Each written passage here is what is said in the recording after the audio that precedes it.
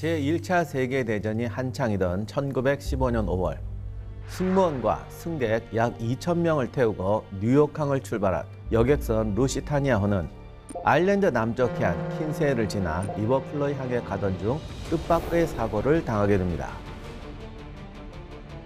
단 한 발의 어뢰 공격을 받고 18분 만에 침몰하게 된 것인데요. 그런데 이 사건은 제1차 세계대전의 흐름을 완전히 뒤집어 놓았습니다. 끝까지 참전하지 않으려고 했던 미국을 이 전쟁에 이끈 것이죠. 고요한 바다를 뒤흔들었던 루시타니어 침몰 사건. 대체 이 사건은 어떻게 제1차 세계대전의 판도를 뒤흔든 것일까요? 그 중심에는 독일의 가장 위협적인 무기 유보트가 있습니다. 제1차 세계대전을 끝내려는 독일이 연합군에 맞서기 위해 발명한 유보트. 독일은 그 목적대로 유보트 덕분에 제1차 세계대전을 끝낼 수 있었는데요. 하지만 독일은 황당하게도 승전국이 아닌 패전국으로서 전쟁을 끝내게 됩니다. 대체 어떻게 된 일일까요?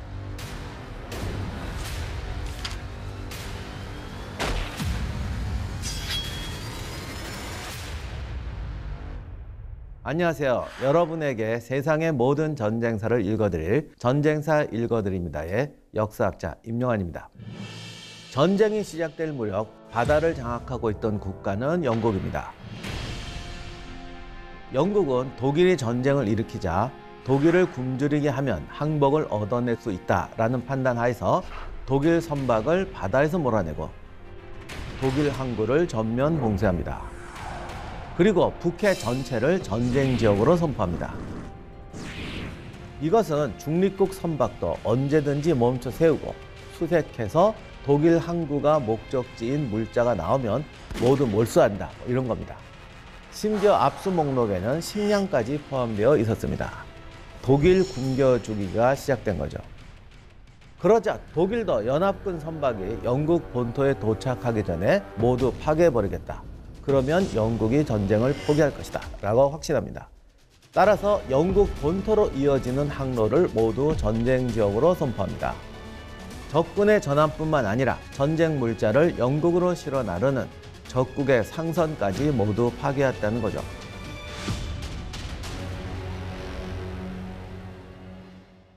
당시 국제전쟁법으로 통용되고 있던 헤이그 협약은 여객선에 대한 공격을 금지하고 있었습니다. 다른 민간 선박 상선일지라도 승선자를 일단 대피시킨 뒤에야 침몰할 수 있다는 협약이 있었죠. 따라서 어뢰 공격 전에 승무원과 승객의 안전부터 보장해 줘야 했습니다. 하지만 독일은 영국이 시작한 굶겨 죽이기 작전에서 벗어나려고 가장 위협적인 신식 무기를 등장시킵니다. 바로 잠수함 유보트죠. 유보트는 바다 밑을 다니는 배란 뜻입니다. 당시 독일 선박 중에서 유일하게 무사히 먼 바다로 나갈 수 있는 배였습니다. 이때까지 잠수함은 정찰 활동이나 적의 전함을 방해하는 보조적인 역할 정도의 배였습니다. 따라서 잠수함을 상선 습격에 사용한다는 발상 자체를 하지 못했어요. 그런데 영국이 독일 항구를 봉쇄하자 독일은 잠수함 개발에 열을 올리기 시작합니다. 드디어 1915년 영국 제도 봉쇄 선언과 함께 무제한 잠수함 작전에 돌입합니다. 유보트는 잠수함이기 때문에 선박을 침몰시키기 전에 사전 경고를 할 수가 없었어요. 침몰 중인 선박에서 승무원과 승백을 구해서 실을 수도 없어요. 결국 헤이그 협약을 어기고 그냥 물에 빠지어 죽게 내버려 둘 수밖에 없는 게 잠수함이었습니다. 전쟁이 일어난 지 몇 주 만에 독일 유보트는 영국 해협에서 영국 순양함 세 척을 깔아앉히고 승무원 1,500명을 전사시킵니다.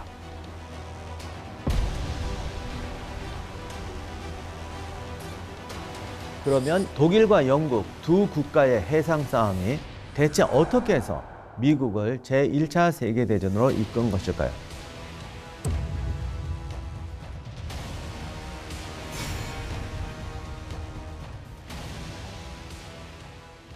첫 번째가 루시타니아호 침몰 사건이었죠.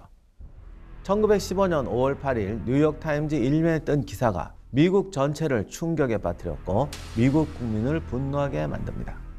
기사 내용은 비극적이었는데 미국인을 포함한 2,000명을 태우고 뉴욕항을 출발했던 루시타니아호가 항해가 끝날 무렵에 독일 유보트가 쏜 어뢰를 맞고 침몰했다는 것이었습니다. 배에 타고 있던 승객 중에서 약 1,200명이 입사했는데 이 중에 128명이 미국인이었습니다. 물론 독일은 여기에 대해서 변명을 했습니다. 이 배가 영국 배다. 그리고 이 배에 미국제 군수품이 실려 있었다. 그래서 우리가 공격했다라고 말을 합니다. 독일은 적법한 행위였다고 주장했고 한 독일 신문은 영국은 독일 국민을 굶겨 죽이려고 한다. 우리가 더 인간적이다. 우리는 생명의 위협을 무릅쓰고 스스로 작전 지역에 들어온 승객을 실은 영국 선박을 침몰시켰을 뿐이다. 라고 논평을 했습니다. 또한 루시타니오가 전쟁 밀수품을 운반했고 보조 순양함으로 분류되었기 때문에 탑승객과 상관없이 헤이그 규칙에 따라 파기할 권리가 있다는 입장을 내놓았습니다. 심지어 루시타니아호가 침몰하기 며칠 전 5월 1일에 워싱턴 주재 독일 대사는 뉴욕을 포함한 약 50개의 미국 신문에 경고 문구를 광고로 내보냅니다. 광고에는 이렇게 돼 있었어요. 대서양 항해에 나서려는 여행객들에게 독일군은 영국 근해에서 영국 국기를 내건 모든 선박을 격침할 것이다. 영국의 여객선을 타고 대서양을 횡단할 당신들도 마찬가지다. 목숨을 내걸어야 할 것이다. 라는 경고를 싣습니다. 결국 이 사건으로 미국인들은 독일에 반대하는 목소리를 높였고 미국 정부는 독일과 관계를 단절해야 할 상황에 놓이게 됩니다. 그런데 사실은 이 격침 사건으로 인해서 미국이 바로 참전하게 된 건 아니었어요. 미국 내에도 이게 참전하자는 사람이 있고 안 하자는 사람이 있으니까 당시 미국 대통령이었던 윌슨은 독일에다 그냥 경고 한번 때립니다. 다시는 이러지 마라. 그러자 독일도 안 할게. 사실은 이렇게 해서 그때는 적당히 넘어갑니다. 루시타니아 사건 이후 독일은 선박을 공격하기에 앞서서 승객들이 대피할 수 있도록 사전 경고를 발령하겠다고 약속합니다. 그리고 무제한 잠수함 작전에도 엄격한 제한을 둡니다. 하지만 독일 유보트는 연합군 상선에 대해서 계속해서 어뢰 공격을 하게 되고 1915년 한 해 동안에 매달 50척에서 100여 척씩 격침을 시킵니다. 왜냐? 독일은 안 할 수가 없는 거예요. 1916년에 들어서면 독일은 영국의 봉쇄 조치 때문에 식량과 의복이 바닥을 드러낼 정도가 됩니다. 독일 도시 곳곳에서 식량 폭동까지 일어납니다. 결국엔 비누, 연료, 기타 생필품 여기에 대해서 이제 배급제를 실시하게 됩니다. 이렇게 되니까 생활 환경이 엉망이 되잖아요. 그러자 구루병, 괴혈병, 결핵 같은 질병이 퍼지고 도시에서 굶어 죽는 사람들이 발생하게 됩니다.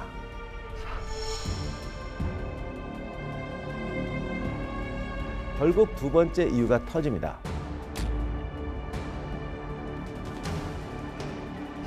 유틀란트 해전이 벌어지고 다시 무제한 잠수함 작전이 시작되게 되죠. 1916년 5월 31일 독일의 세어 제독은 영국 함대를 없애야 우리가 이 봉쇄를 풀 수 있다 해서 영국 함대와 맞붙기 위해서 독일 함대를 끌고 북해로 갑니다. 그리고 영국 함대가 어 니들 나왔니 하고 나가서 덴마크 해안에서 붙었는데 당시까지 벌어졌던 역사상 가장 큰 해전이었습니다. 이 해전의 이름이 유틀란트 해전이죠.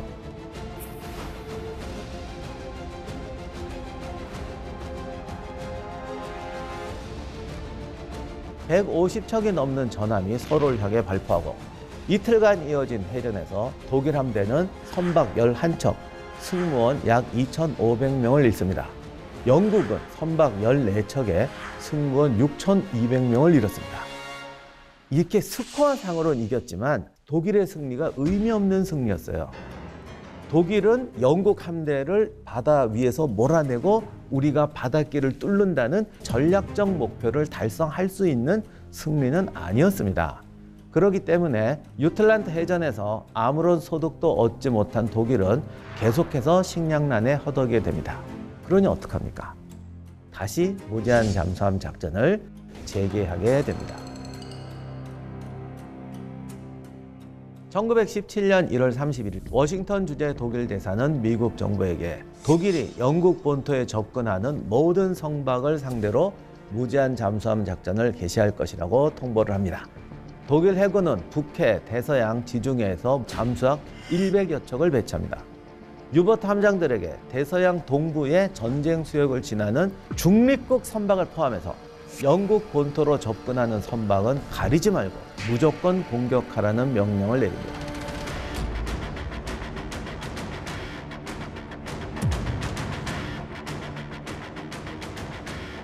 이제까지 미국 대통령 윌슨은 유럽의 전쟁에 끼어들지 않으려고 했어요. 하지만 이제 더 이상은 참을 수 없다 라고 판단을 하고 2월 2일 미국은 즉시 독일과 외교 관계를 단절합니다. 심지어 2월 26일에 독일 잠수함이 영국 여객선 라코니아호를 공격했는데 이 배에 타고 있던 미국인 두 명이 사망하자 윌슨 대통령은 의회에 미국 상선이 무장하게 해달라고 요청을 합니다.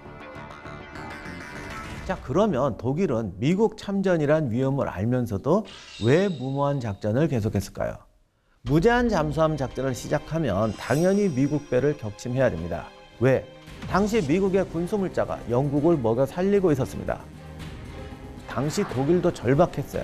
그래서 이때 독일의 영웅 힌덴부르크하고 루덴도르프가 지금부터 매달 어느 정도 일정 이상 미국 선박을 격침을 하면 영국은 미국이 참전하기 전에 무너진다. 5개월 동안 매달 60만 톤 이상 격침하자. 그러면 미국이 참전하기 전에 우리가 이길 수 있다. 그런데 이게 막상 해보니까 계산이 잘못된 거예요. 그 숫자만큼 격침시킬 수가 없었습니다. 결국 미국의 참전을 야기하게 됩니다. 그런데 이것만으로 사실 참전하게 된 건 아니었어요.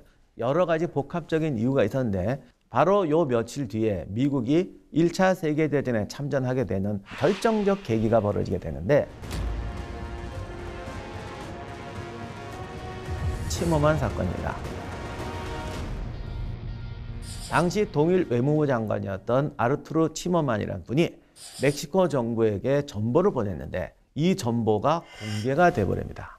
이걸 보고 미국이 독일에 대한 분노가 최대치로 폭발하게 된 겁니다. 침엄한 전보라고 불리는 이 전보의 내용은 이렇습니다. 미국이 전쟁에 뛰어들었을 때 멕시코가 독일과 동맹을 맺어준다면 멕시코가 예전에 잃어버린 영토, 텍사스, 뉴멕시코, 애리조나를 되찾을 수 있도록 돕겠다는 제안을 했습니다. 그런데 이게 사실 침어만이 진지하게 보낸 게 아니었어요. 그냥 어떤 아이디어가 훅 떠올라서 보낸 거였죠. 당시에 독일이 멕시코를 지원할 수도 없고 멕시코도 미국하고 맞붙어 싸울 그런 의도가 전혀 없었어요. 그래서 사실 이거 너무 황당해가지고 위조문서 아니냐는 말까지 나왔다고 합니다. 하지만 이 침엄한 전보가 공개되자 독일 유보트가 미국 선박 내척을 사전 경고 없이 공격하고 윌슨은 임시국회를 소집해서 독일의 잠수함 공격은 우리 모든 나라에 대한 전쟁이라고 선언을 하게 됩니다. 그래서 1917년 4월 6일 미국은 공식적으로 독일의 전쟁을 선포하게 됩니다. 이렇게 돼서 미국이 참전하게 되는데 자기 백그라운드에 근본적인 원인이 있습니다. 바로 미국의 부흥과 세계적 위상 변화의 인식입니다. 사실 전쟁이 났을 때부터 1차 세계대전에 참전하느냐는 문제를 두고 미국은 딜레마에 빠졌습니다. 민주당의 윌슨 대통령은 1916년에 재선을 해야 되는데 캐치프레이드가 그는 우리를 전쟁으로 끌고 들어가지 않았다였습니다. 유럽 전쟁에 휘말리지 않았다는 것을 최고의 치적으로 내세웠던 거죠. 그런데 전쟁이 계속되니까 미국 내에서도 여론이 자꾸 바뀝니다. 참전파와 비참전파로 나뉘게 되고요. 참전하자는 쪽에서는 또 연합군 쪽에 붙을 것이냐 동맹국 쪽에 붙을 것이냐로 의견이 또 갈리게 됩니다. 그러면 왜 미국의 여론이 갈리느냐? 미국은 사실 다민족 국가입니다. 미국을 건설하는 데에서 영국계, 독일계, 프랑스계가 굉장히 중요한 역할을 합니다. 그리고 이 사람들이 와가지고 독일 사람 사는 지역, 영국 사람 사는 지역 이렇게 다 나눠서 살았어요. 따라서 국민 여론이 생각으로도 갈리고 지역으로도 갈리면서 연합군 편, 독일 편으로 나눠지게 되는 거죠. 물론 연합군 쪽이 사람 좀 더 많았어요.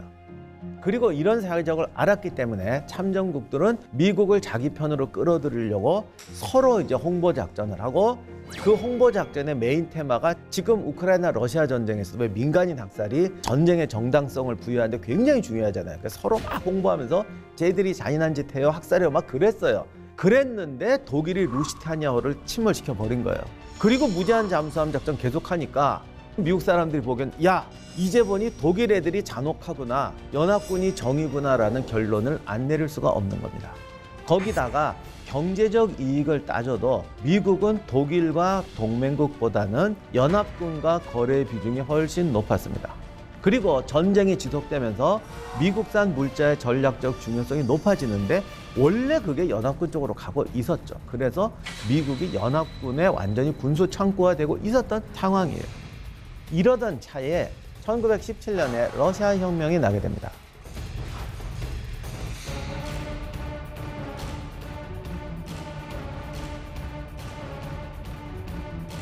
그리고 새로 정권을 장악한 레닌은 즉시 독일하고 휴전을 했어요. 그러자 동부 전선에 있던 독일군 44개 사단이 서부 전선으로 이동하게 됩니다. 이때 영국과 프랑스는 병력 자원이 거의 남아있질 않았습니다. 1918년에는 지금 우리나라 중학생 정도 소년들이 훈련소에 징집돼서 들어갑니다. 그러다 보니 미국도 야 이거 참전해야겠구나라는 생각을 하게 됐던 것이고 그리고 정말 중요한 게 있어요. 전후 세계의 전망이죠. 당시 영국이 세계의 절반을 지배하고 있었어요. 이러니까 미국이 잘해야 중립이고 연합군 편을 안 들 수가 사실 없는 거죠. 그런데 이 전쟁이 끝나면 어떻게 될 건가? 전후에 미국은 단숨에 세계 1등 국가로 올라설 수 있는 절호의 기회가 온 겁니다. 많은 분들이 영국의 세계 지배가 2차 세계대전이 끝났다고 알고 계세요. 하지만 사실은 1차 대전 후에 이미 끝났다. 윌슨도 이걸 알았어요. 그래서 전후 세계에서 미국은 세계의 주도권을 쥐는 국가가 될 것이라는 걸 알게 되죠. 국제연맹을 제안한 것도 그것 때문이에요. 그런데 어디서 세계를 주도하려면 명분이 뭐야 되겠습니까? 세계 평화를 지킨다. 정의를 수호한다. 이러기 위해서 중요한 게 전후에 평화를 유지하고 뭐 정의를 수호하려면 본인이 뭘 좀 해야 될 거 아니야. 남 싸울 때 구경만 하고 있다가 다 끝난 다음에 내가 이제 정의를 지킬게 그러면 누가 믿어요. 그래서 국민들한테 우리가 참전해야 된다라고 설득을 하는 겁니다.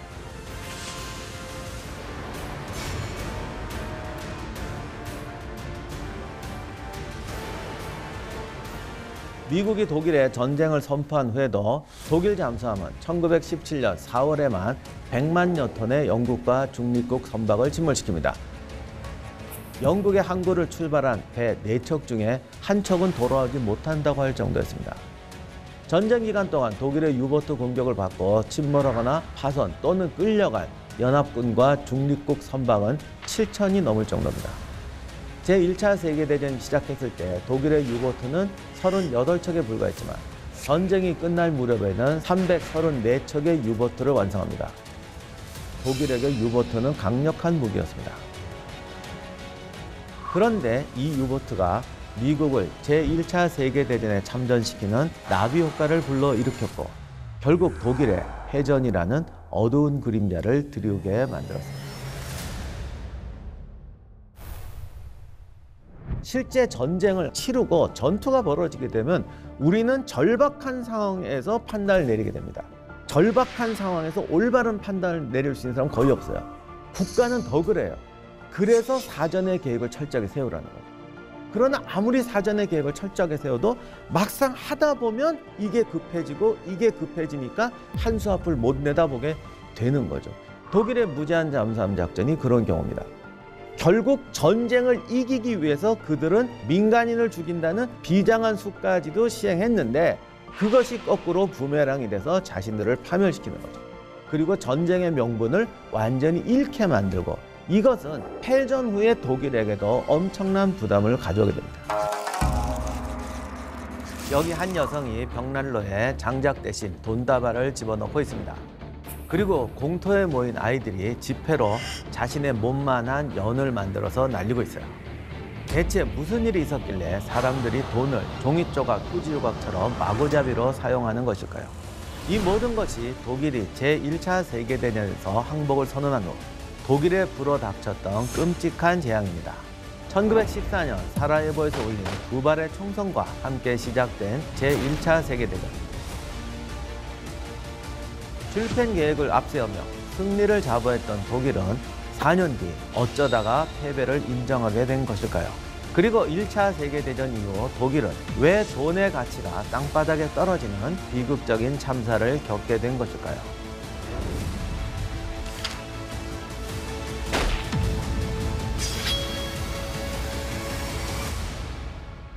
안녕하세요. 세상의 모든 전쟁사를 읽어드리는 전쟁사 읽어드립니다의 역사학자 임용환입니다. 독일의 반복되는 도발과 무자비한 공격으로 결국 미국이 제1차 세계대전에 참전합니다.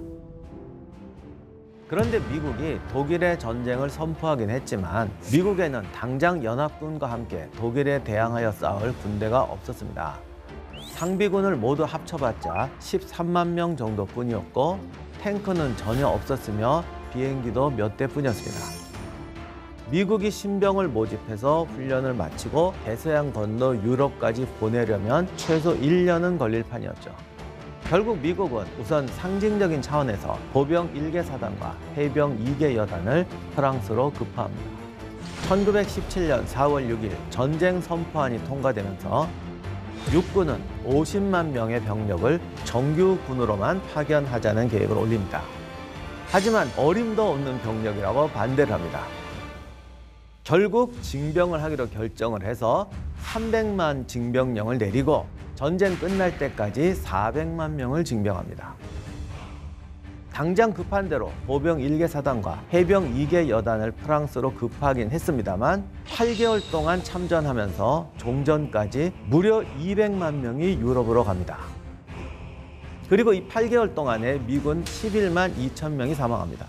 그런데 이때 쓰인 전쟁 비용이 무려 320억 달러인데 이는 1910년 미국의 국민 총 생산하고 같았습니다. 참고로 예산은 10억에서 20억 불, 30억 불 정도밖에 안 됐어요. 1년 국내 예산이. 어마어마한 돈이었죠. 당시 서부 전선의 양쪽 군대는 추위와 싸움에서 힘겹게 버티면서 교착 상태를 이어가고 있었습니다. 이때 전쟁 후유증으로 엄청난 일이 발생합니다. 전쟁이 너무 오래 이어지면서 프랑스 성인 남성 수명 중에서 한 명꼴로 사망하게 됩니다. 그러자 프랑스군 사병들이 이제 드디어 장교를 공격하게 되죠. 부대 전체가 안 싸우겠다고 돌아가 버리거나 전투 투입을 거부하게 되면서 대규모 항명 사태가 벌어지게 됩니다. 이제 프랑스군 지휘부가 이제 너무 놀래가지고 군인들한테 이제 휴가 기간도 늘려주고 식사질도 높이려고 하고 심지어는 당분간 공격 안 할게 이런 명령까지 내리면서 이걸 어떻게 누르게 되는데 자 그런데 이것이 진짜로 터지는 사건이 벌어지게 됩니다. 길고 긴 전투에서 러시아군 역시 군사적으로 큰 손실을 입으면서 붕괴되고 있었습니다. 러시아 짜르 정부의 부패, 무능력이 러시아군의 사기를 유럽보다 더 크게 떨어뜨리게 되죠. 1917년 초에는 식량과 연료 부족 현상까지 심해지면서 러시아 수도 상트페테르스부르크에서 파업과 폭동이 일어나게 됩니다. 민중은 빵을 달라고 외치면서 전제 왕조 타도를 슬로건으로 내걸고 시가지를 행진하게 돼요. 심지어는 전쟁에 지친 군인들이 혁명 세력에 가담하면서 폭동이 혁명으로 바뀌어 버립니다. 군대까지 등을 돌리자 짜르였던 니콜라이는 3월에 왕자를 내려놓습니다.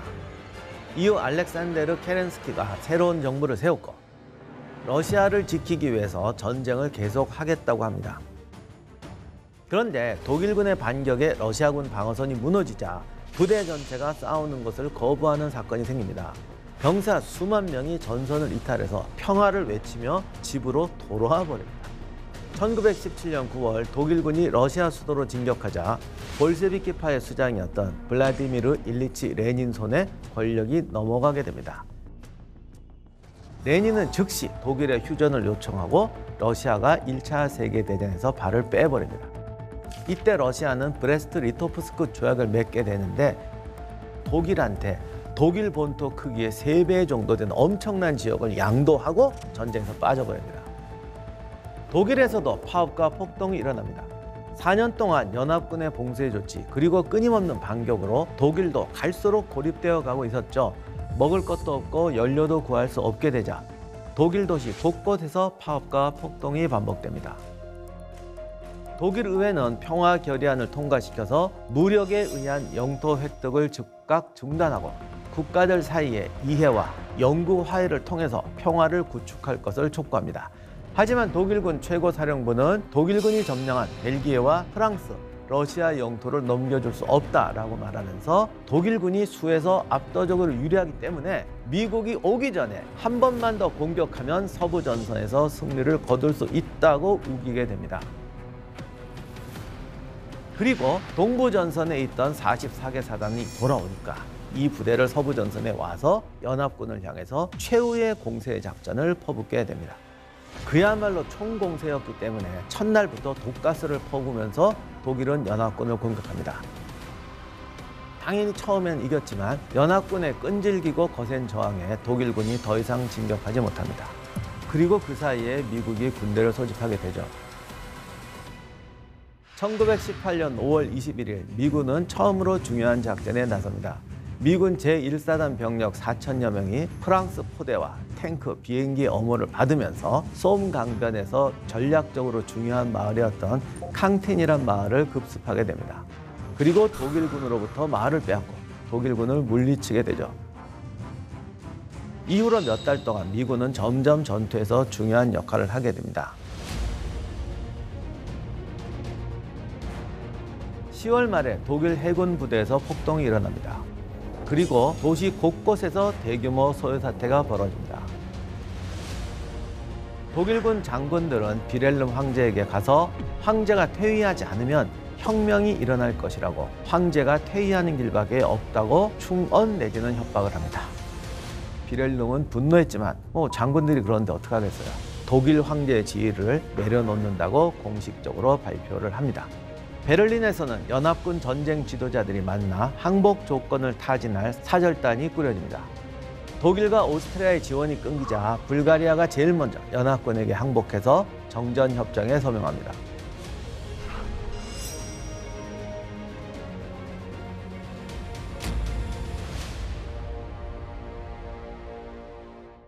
독일 사절단은 백기를 들고 파리 북쪽 콩피에뉴 숲에 정차한 기차 안에서 연합군 사령관 페르디낭 포슈 원수를 만납니다. 이때만 해도 독일은 완전히 항복한 것이 아니고 평화 조건을 논의할 정전 협정을 요청한 상태였어요. 그래서 정전 협정은 전투를 쉬게 하는 거지 전쟁을 끝낸다는 보장이 없었습니다. 따라서 독일이 얼마든지 전투를 재개할 수 있는 상황이었습니다. 하지만 프랑스의 포슈 원수의 입장은 독일을 무력화해야 된다는 것이었어요. 그렇기 때문에 프랑스와 벨기에로부터 빼앗은 지역, 브레스트 리토프스크 회담에서 러시아가 넘겨준 땅, 1914년 이후 점령한 동유럽 지역 모두 다 넘기고 철수하라고 요구를 합니다. 또 정전 조건을 따르면 독일 해군 대부분과 잠수함 전체, 무기, 기타 군사 장비까지 모조리 연합군에게 넘겨야 했습니다. 그리고 연합군이 라일 강변의 독일 영토 일부를 잠정적으로 점령하고 독일이 전쟁으로 일으킨 피해와 파괴를 복구할 배상금을 지불해야 했습니다. 끝으로 평화조약이 체결될 때까지 연합군은 독일의 항구를 계속 봉쇄한다는 내용까지 추가됩니다. 그래서 이 조건에 대해서 이제 독일은 충격을 받죠. 이건 너무 가혹하지 않냐. 그런데 포슈 이 양반이 보통 사람입니까? 꿈쩍도 안 하고 결국 독일은 서명할 수밖에 없었어요. 1918년 11월 11일 새벽 5시 경에 양측은 정전협정에 서명을 했고 이날 11시부터 효력을 발휘하게 됩니다. 1919년 1월 독일이 다시는 유럽의 평화를 위협해서는 안 된다 뭐 이런 목적을 가지고 프랑스 수상 조르주 클레방소, 영국 수상 데이비드 로이드 조지, 미국 대통령 우드로 윌슨을 주축으로 연합군 대표들이 모여서 최종 강화 조건을 논의하게 됩니다. 이 논쟁이 엄청나가지고 무려 6개월 동안 이어지고 협상이 몇 번이나 결렬될 뻔 하다가 간신히 간신히 최종 합의가 이루어집니다. 이것이 1919년 6월 28일 베르사유 궁전 거울의 방에서 이루어졌기 때문에 베르사유 조약이라고 이름이 붙습니다. 베르사유 조약의 핵심은 전쟁의 책임은 전적으로 독일에 있다. 독일은 무장 해제하고 외국 식민지를 모두 양도할 것이며 연합국이 입은 피해에 대한 막대한 배상금을 지불해야 한다는 것이었습니다. 독일은 이 너무 심하다고 평화협정에 사인하기를 거부했는데 이미 군대하고 전함까지 다 넘겨가지고 이미 전쟁은 할 수 없는 상황이고 만약에 연합군 침공해서 니네 없애겠다 그러면 지킬 수가 없는 상황이었어요. 거기다가 여전히 항구 봉쇄가 되고 있었기 때문에 전쟁 때보다 더 끔찍한 삶을 경험하고 있었습니다. 결국 독일은 베르사유 조약의 조건에 사인을 했고 제1차 세계대전이 공식적인 종전 조약이 체결되면서 4년간 이어진 대학살이 끝이 나게 됩니다.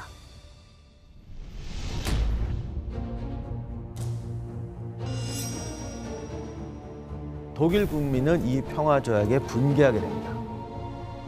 당시 독일 배상금으로 연합국에 지불해야 될 금액은 매년 20억 마르크씩 1320억 마르크였는데 만약에 이거를 제때 지불하지 못하면 연합군은 독일의 공업지대인 루르 지방을 점령하겠다. 이런 조건까지 있었어요. 자, 그러면 이런 열악한 상황에서 독일에서 왜 초인플레이션이 발생하느냐? 전쟁 중에 각국의 군사비가 GDP의 절반을 넘어갑니다. 그러니 당연히 조세를 늘리게 되죠. 그 다음에 채권, 근데 이것도 안 돼요. 그러니까 할 수 없이 마지막에 그냥 화폐를 찍어내버리게 됩니다. 이렇게 되니까 나라마다 돈 찍어낼 일이 계속 늘어가서 독일만 돈을 찍어낸 게 아니라 전 국가가 사실 돈을 다 찍어냈어요. 그리고 전쟁 끝나고 나니까 화폐를 걷어들여야 되니까 긴축 전체를 했죠. 그랬더니 이게 또 실업이 늘어가요. 여기에 전사자, 유가족, 상위군인 이러다 보니 정부 지출은 계속 늘어나게 되는 거죠. 그래서 독일을 쪼아대기 시작하니까 독일이 전쟁 기간 동안에 스스로 만든 부채가 전체 GDP의 30배, 전체 통화량의 수배였습니다. 결국 독일이 배상금을 도저히 낼 수 없게 되자 1923년 프랑스가 루르 지방을 점령해 버렸는데 이렇게 되니까 이제 난리가 나버리는 거죠. 백성들의 삶은 점점 가난해지고 화폐 가치가 상상 초월하게 하락하기 시작합니다. 이때 마르크하고 달러 비율을 보면 1913년에 1달러가 4.2마르크였습니다.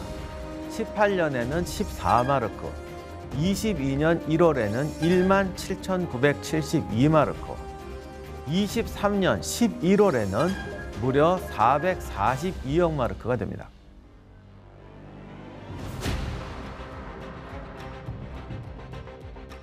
그래서 국민들이 항의의 표시로 화폐를 길거리에 버리거나 불쏘시개로 쓰고 장난감 만들어 쓰고 이런 일들이 벌어지게 됐던 겁니다.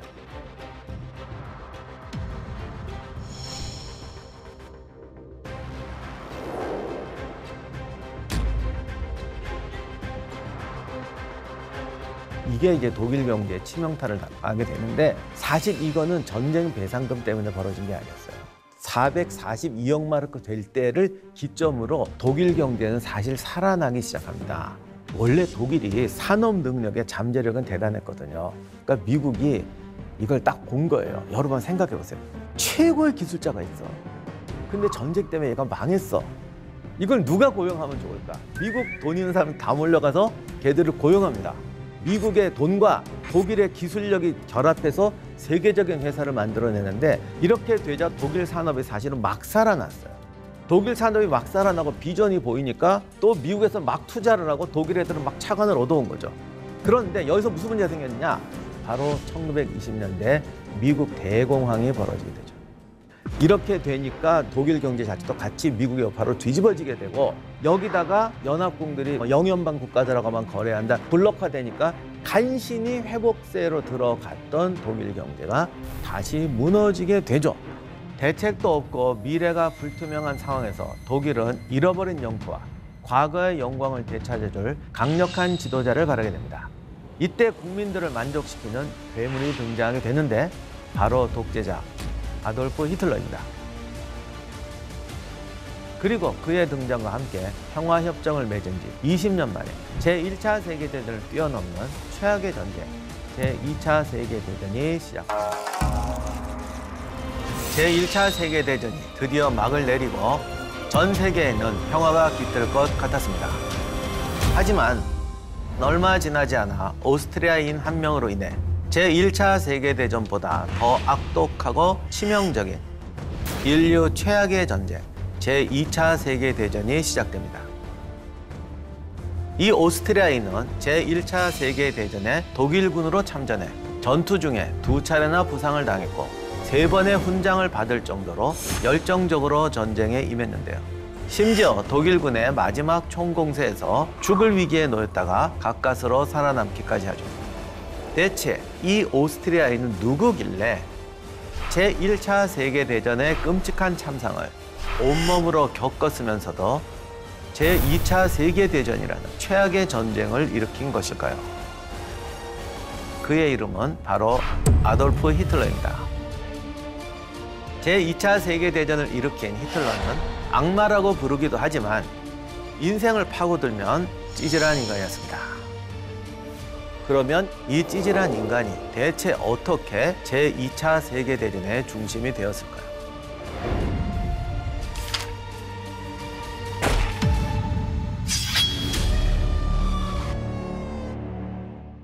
안녕하세요. 세상의 모든 전쟁사를 읽어드리는 전쟁사 읽어드립니다의 역사학자 임영환입니다. 독일인도 아닌 히틀러는 어떻게 나치 독일의 우두머리가 되어 약 5천에서 7천만 명이나 되는 목숨을 앗아간 제2차 세계대전을 일으킬 수 있었던 것일까? 히틀러는 오스트리아에서 태어나 어린 시절을 보냅니다. 히틀러의 어린 시절을 보면 우쭐하고 대장하고 싶어하는 성격이었다고 합니다. 그런데 노력은 안 하고 정상적인 코스는 안 밟으면서 과대망상이 약간 있는 기질이었다고 해요. 학교 선생님은 이렇게 썼습니다. 재능은 안 보이고 성실하지도 않고 교칙에 순응하지도 않고 고집은 세고 주제의 성격은 고자세 혼내면은 오만불선하고 능력은 안 되는데 그부들 위해 군림하고 싶어한다. 성격이 그렇다는 거지 본인이 잘나질 않았으니까 애들이 안 도와주잖아요. 그러면 가서 싸워서 대장하는 게 아니고 그냥 어, 이렇게 가만히 있는. 그래서 사실은 튀지도 않았다고 그래요. 요거는 히틀러의 성격은 굉장히 중요한 면이에요. 근거 없는 자신감, 우월감, 그리고 열등감 이것이 교차하면서 속으로 불만이 싹트고 현실을 부정하고 있을 뿐이지 겉으로는 소심하고 나서고는 싶은데 깨지고 망신당하는 걸 두려워하고 이런 성격이었습니다. 따라서 어린 시절에 그림에 관심을 보이기는 했지만 제대로 된 교육은 받지 않았고 그럴 자세가 있었는지도 의문이에요. 사실 예술가가 되려고 했던 것도 공부는 하기 싫은데 예술가는 남에게 구애받지 않는 직업이잖아요. 자기 마음대로 내 세계를 살 수 있다. 이거에 이제 매력을 느꼈던 것 같습니다. 그런데 아버지는 공무원이었고 아들도 공무원이 되기를 원했습니다. 그래서 실업학교에 입학을 했는데 열다섯 살에 아버지가 돌아가시고 열여덟 살에 어머니까지 돌아가시게 됩니다. 이렇게 되니까 나는 화가가 되겠다 해서 오스트리아 빈에 있는 국립예술대학교에 시험을 치르게 됩니다. 이것도 좀 갈만한데 적당히 갔으면 됐을 텐데 퍽 죽어도 나는 좋은 데 가야겠다 그래가지고 도전을 합니다. 무려 세 번이나 도전을 했지만 이제 모두 실패하게 되죠. 그래서 이때 히틀러는 생계를 이어가려고 빈에서 이제 그림 엽서 같은 거 그리면서 팔면서 삶을 하게 됩니다. 히틀러 그림은 지금 수준에 비해서는 엄청 높아요, 가격이. 저 정도는 나도 그릴 것 같은데. 빈에서는 저소득 독신자용 숙소라는 이런 복지시설에서 생활을 했다고 합니다. 이때 히틀러의 특징은 한마디로 방구석 열변가였어요. 방구석에서 세상 모든 사람에게 분노하고 제멋대로 노력을 합니다. 도시 건설을 이렇게 해야 돼, 지분 이렇게 해야 돼, 빈민무전 이렇게 해야 돼 이런 식으로 하면서 자기 영역은 나름대로 조금씩 넓혀가고 그리고 자기 존재감을 보이기 위해서 조금씩 노력합니다. 빈의 독신자 숙소에서도 사람들이 뭐 이런저런 얘기하고 있으면 갑자기 뛰어들어가지고 자기가 막 열변토하는 거죠. 근데 누가 당신 말 틀렸잖아 이러면 절대 말싸움 안 하고 갑자기 뚝 꺼치고 조용히 자리로 그냥 돌아갔다고 합니다. 보통은 이렇게 되면 다시는 안 하는데 이 사람은 또 하고 또 하고 또 하고 하여간 집요하게 합니다. 나중에 히틀러의 연설을 보면 폭발하는 것 같았다 이런 말 많이 하거든요.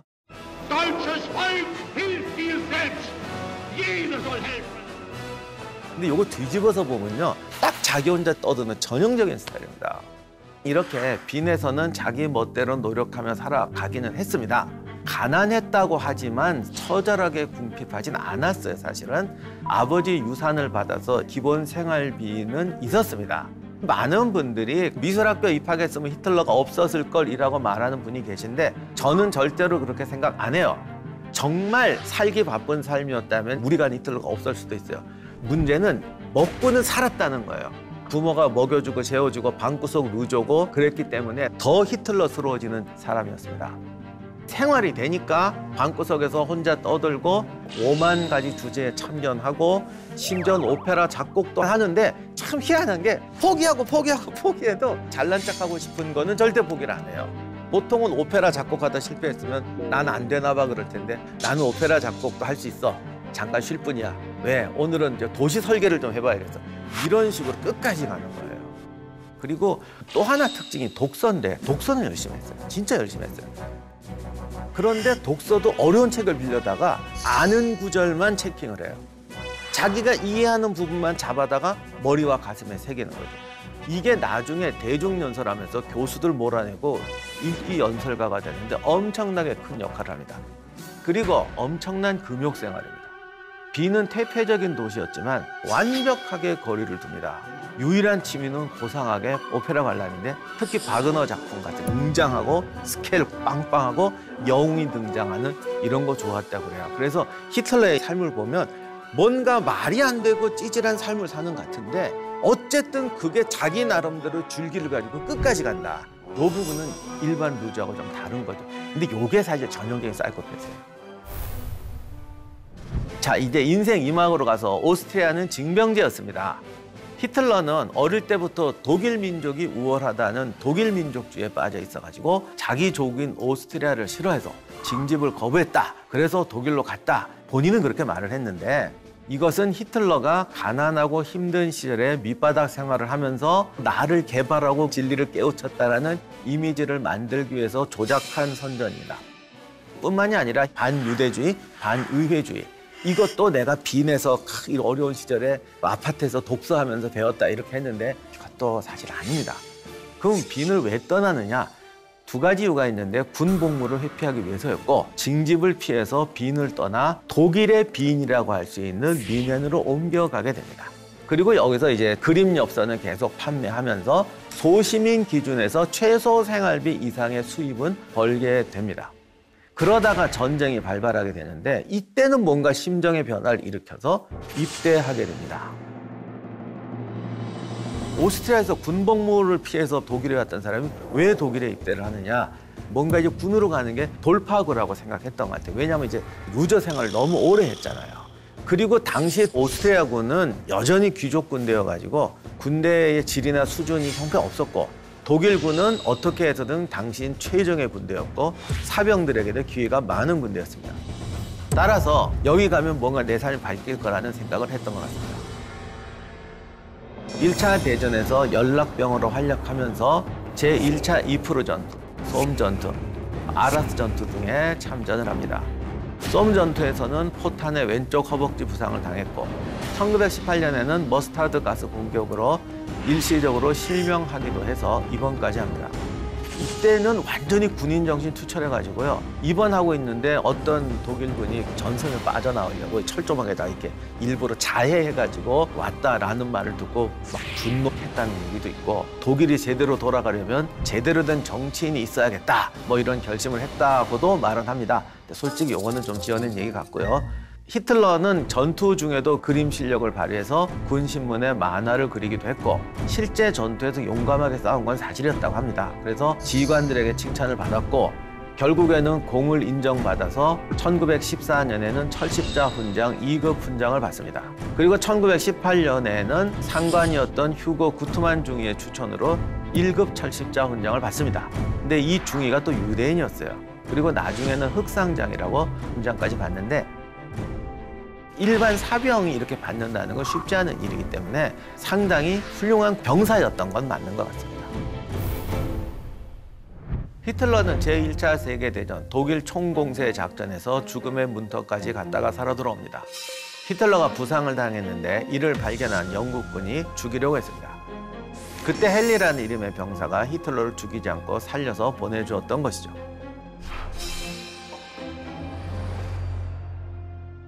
히틀러는 제1차 세계대전에서 겪은 것이 모든 경험 중에서 가장 위대한 경험이라고 표현했고 이 경험을 통해서 독일에 대한 애국심을 더욱 키워나갑니다. 그 때문에 히틀러는 1918년 독일이 항복을 선언하자 큰 충격을 받았습니다. 제2차 대전에 장군들이 히틀러를 폄하할 때 말로 하사놈이라고 합니다. 그런데 실제 계급은 상병이었습니다.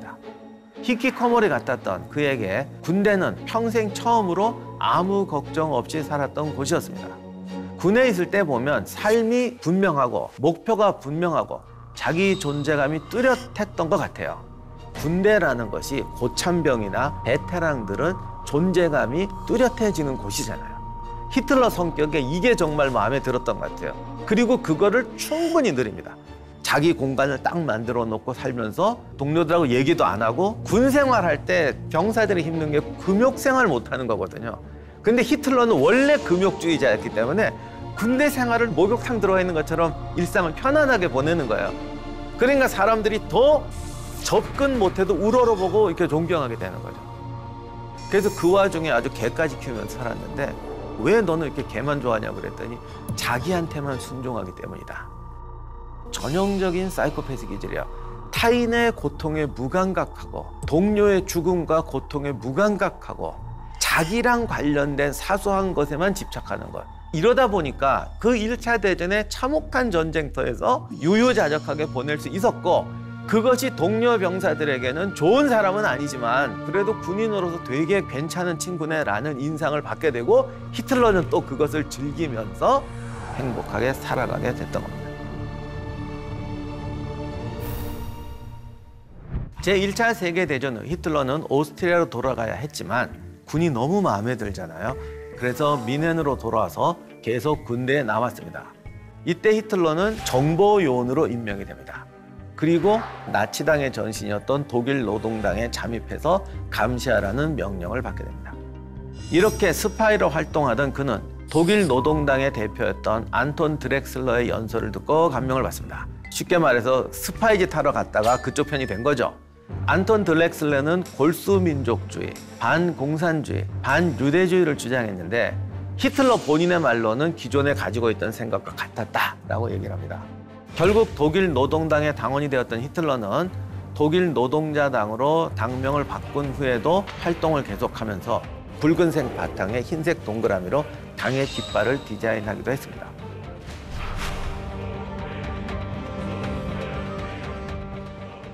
1919년에 히틀러는 정치인으로 데뷔하게 되는데 미넨에서 가장 유명한 맥주집인 호프 브로이 하우스에서 연설을 하게 됩니다. 이때 100명 정도 되는 사람들 앞에서 연설을 했는데 히틀러의 연설이 점차 많은 사람들의 마음을 사로잡게 됩니다. 1920년 제대 후에 본격적으로 당을 위해서 일하기 시작한 히틀러는 민헨을 돌며 베르사유 조약, 라이벌 정치인들, 마르크스주의자들, 유대인들에 반대하는 직설적이고 공격적인 말투로 악명을 떨쳤고 다시 호프 브로이 하우스에서 연설할 때는 수용 인원이 3천 명이 꽉 찰 정도로 유명해집니다. 결국 승승장구하면서 나치당의 대표가 됩니다. 그런데 더 높은 것을 바라보는 히틀러에게는 한 가지 문제가 있었죠. 히틀러는 바이마르 공화국의 바바리아 정부를 전복시킬 방법을 모색하다가 맥졸 폭동을 일으키고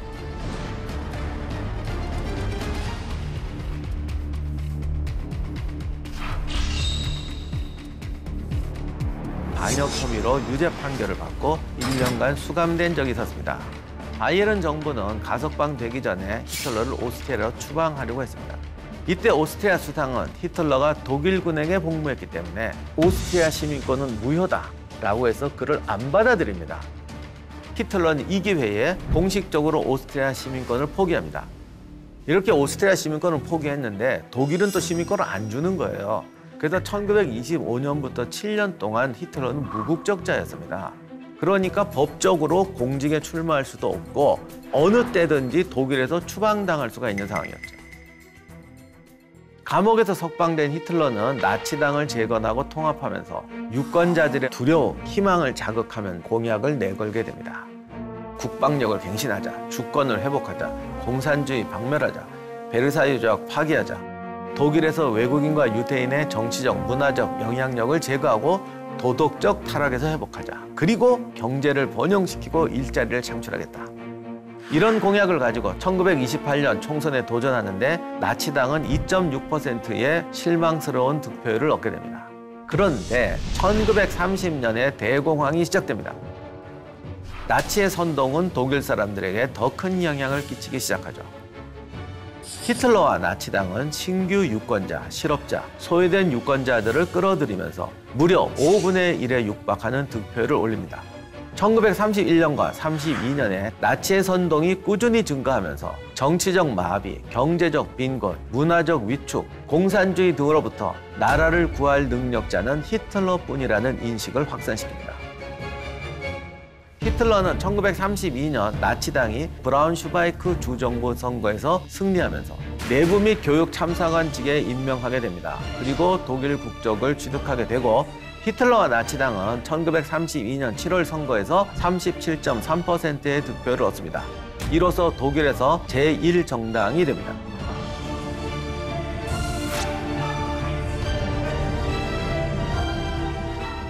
히틀러가 수상 자리에 오른 뒤 기존 대통령이 사망하자 대통령과 수상직을 동시에 수행하게 되죠. 이때 히틀러는 대통령직을 폐지하고 자신을 독일 국민의 총통이라고 선언합니다. 그리고 제국 수상, 정부 수반의 지위도 계속 유지하게 됩니다. 제1차 세계대전에서 타의에 의해 죽음 직전까지 갔다가 살아난 히틀러는 타의에 의해서 독일 노동당의 스파이로 들어가게 되었고 타의에 의해서 오스트리아 국적을 박탈당하게 되면서 나치 독일을 이끄는 수장이 되었습니다. 여기에는 히틀러 개인의 능력이 아니라 그런 사람을 지도자로 인정하게 되는 독일 사회, 독일 국민의 충격과 문제점이 있었던 것입니다. 그것은 다음 시간에 말씀드리도록 하겠습니다. 히틀러의 등장과 함께 독일 국민들은 히틀러에게 매료되어 버립니다. 그의 한마디에 열광하고 그의 한마디에 비통해하며 이성적인 판단을 전혀 할 수 없는 지경에까지 이르게 됩니다. 히틀러가 독일 국민을 자신에게 미치게 만들었던 비결은 무엇일까요? 루저였던 히틀러가 말 한마디로 대중의 마음을 사로잡을 수 있었던 비결은 무엇일까? 바로 그의 뒤에서 그의 혀가 되어 히틀러를 도왔던 한 명의 추종자가 있었기 때문에 가능했습니다. 바로 나치의 나팔스라고 불린 괴벨스. 괴벨스는 히틀러의 연설이 더욱 돋보일 수 있다면, 대중에게 잘 먹힐 수 있다면 수단과 방법을 가리지 않았는데요. 과연 괴벨스는 어떻게 히틀러를 연설의 달인으로 만들었던 것일까요?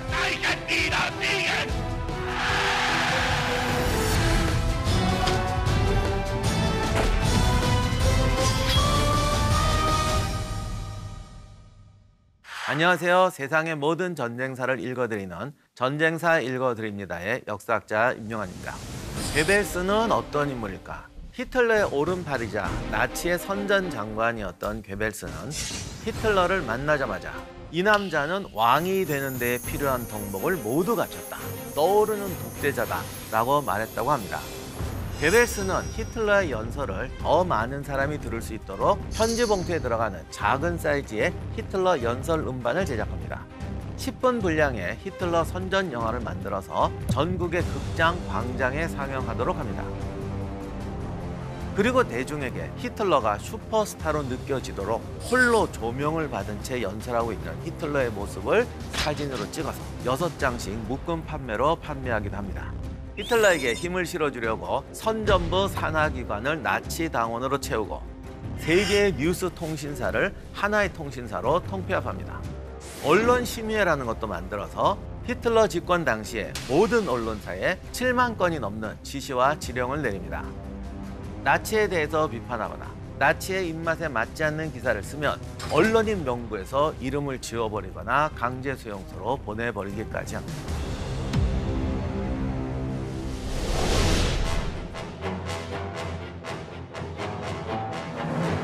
라디오 방송이 가장 근대적이고 가장 중요한 대중 감화 수단이라고 생각한다. 라디오 방송은 북쪽과 서쪽을, 남쪽과 동쪽을, 카톨릭과 프로테스탄트를, 프롤레타리아와 부르조와 농민을 통일하고 독일 국민을 일체화하는 드높은 목적을 위한 수단이 될 것이다라고 합니다. 나치 정권의 메시지를 더 많은 국민에게 전달하려고 괴벨스는 저렴한 라디오 수신기를 생산하라는 명령을 내립니다. 76 라이스마르크라는 쌍따페 팔리게 되죠. 그때 라디오가 요즘의 LED TV 같은 개념이었다고 생각하시면 돼요. 큰 TV 너무 온 가족이 보잖아요. 그때는 라디오 놓고 거실에서 온 가족이 둘러앉아서 봤습니다. 그러니까 대중 선전 매체로 라디오처럼 좋은 게 없는 것이죠. 히틀러 역시 연설이 대중에게 미치는 효과가 얼마나 큰지는 본인도 잘 알고 있었죠. 이 세상의 위대한 운동은 전부 위대한 글쟁이가 아니라 위대한 연설가 덕분에 확대된다라고 말할 정도였습니다. 그리고 베벨스를 선전 장관으로 임명해 연설을 더욱 효과적으로 하고 대중을 선동하려고 노력합니다. 그러면 히틀러가 생각한 연설의 대상은 누구였을까요? 그는 나의 투쟁에서 이런 말을 합니다. 선전은 누구를 향한 것이어야 하는가? 학식 있는 지성인을 향한 것인가? 아니면 교육 수준이 낮은 대중을 향한 것인가? 선전은 오직 대중을 향한 것이어야 한다. 청등들 중에서 가장 우매한 사람이라도 알아들을 수 있을 정도로 조정되어야 한다. 그러면 무지한 사람들이 히틀러를 지지하느냐? 아니에요.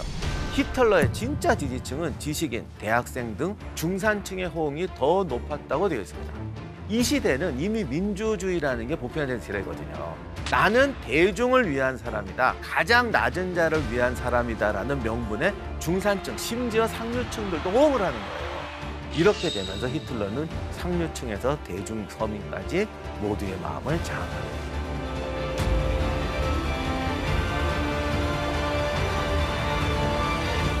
첫 번째, 논리보다는 감정에 호소하라. 히틀러는 국민, 노동, 독일 민족, 피, 인종, 순수성, 청결, 단정함, 생활 공감, 유대인 등과 같은 집단적 문제 의식을 일으키는 어휘를 선호하면서 반복적으로 사용합니다. 그리고 히틀러는 이렇게 말합니다. 대중의 수용 능력은 매우 한정적이고 이해력은 낮으며 그만큼 잊어버린다. 가장 단순한 개념을 천 번 반복할 때 대중은 비로소 그 개념을 기억할 수 있다라고 합니다. 모든 청중이 특별한 지식이 없어도 쉽게 이해할 수 있는 낱말과 표현을 슬로건처럼 반복해서 사용합니다. 특히 독일의 힘든 상황은 우리가 잘못해서가 아니라 유대인 때문이다 라고 하면서 공공의 적을 만듭니다. 유대인은 싹 쓸어 죽일 것이다. 이 모든 일에 책임이 있는 건 1918년 11월의 인물들인 것이다. 이렇게 말하면서 모든 것을 유대인 탓으로 돌립니다. 여기도 사실 이유가 있는데 이 세상이 사람들이 알고 있는 지식과 삶의 경험을 가지고는 해석이 안 되고 미래가 어떤 사회가 올지 도저히 모르겠는 거예요. 이럴 때 선동이 먹혀요. 세계는 갑자기 변하고 욕망과 불안감을 동시에 자극하는데 답은 안 나온단 말이에요. 이럴 때 아주 선명한 답을 주면서 붙들게 하는 것이죠. 히틀러 스피치의 언어적 특징 두 번째입니다. 나보다는 우리라는 화법을 써라. 히틀러는 적대자에 대항할 때 우리라는 화법을 사용합니다. 공동체의 감정을 느끼게 하고 하나로 단합된 군중인 우리가 적대자에게 대항하게 한다라는 논법을 사용하죠. 이 우리라는 화법은 각계각층의 독일 민중을 민족 공동체라는 하나의 통합된 공동체에 소속시키는 전략이었어요. 또한 적대적인 존재를 유대인으로 대표시켜서 모두의 공통의 적이 생기게 함으로써 집단적으로 일체감을 느끼게 하고 연대감을 형성하도록 하는 것이죠.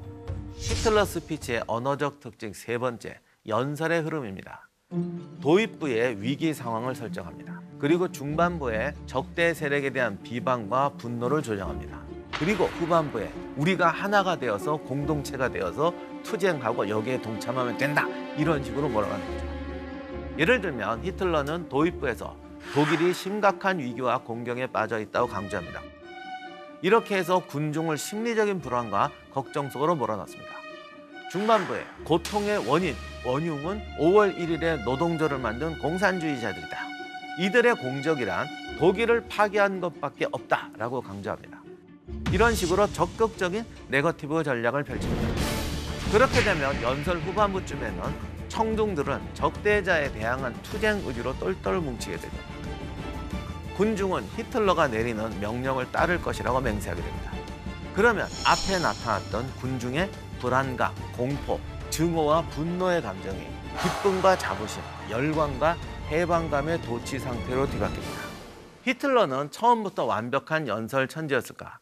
1932년 2월부터 11월까지 다섯 번의 선거를 치르면서 단기간 동안에 너무 많은 연설을 한 거예요. 그리고 또 야외에서 연설을 하니까 옛날에 가스 마셨던 목이 이제 혹사돼 가지고 마비될 가능성이 있다는 진단을 받습니다. 히틀러는 이 문제를 해결하기 위해서 파울 데프린트라는 오페라 가수를 초빙해서 발성법을 배웁니다. 히틀러의 문제점은 연설이 시작하면 콧구멍이 일그러지고 음이 뭉개진다. 그러니까 혈관이 부어오르고 목소리가 갈라지고 호흡도 띄엄띄엄 중단된다.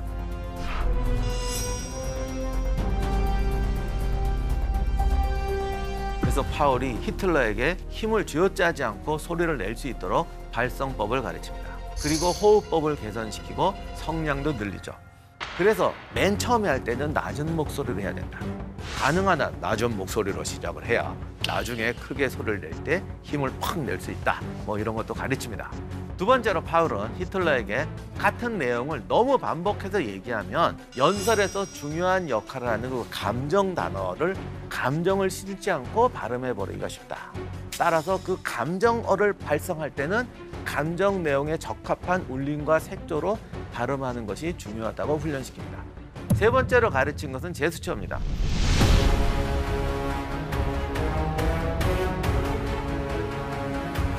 히틀러가 연설 중에 처음에는 늘 이 사람이 감정적으로 하니까 스스로 동작을 억제할 수 없게 된다. 그래서 이 차분하게 연수를 하도록 본인이 뭘 이렇게 볼 수 있는 부적이나 이런 거를 준비해야 된다. 그래서 히틀러가 가방에서 은색 개목걸이를 꺼내가지고 그것을 부적 삼아 연습했다고 합니다.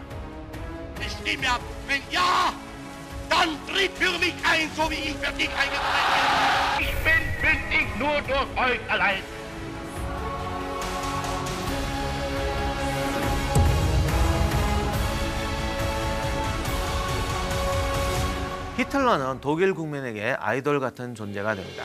히틀러를 더욱 신격화하고 그에게 미치게 하기 위해서는 효과적인 무대 연출이 필요했죠. 그래서 마치 쇼 무대를 준비하는 것처럼 세세한 점까지 모두 계획하고 연출하게 됩니다. 유세, 경로, 데모 행진 횟수, 집회 규모, 행진 리듬, 연설자가 등장하는 방식, 공간, 시간, 행진 음악, 조명 이런 것까지 모두 철두철미하게 연출하게 됩니다.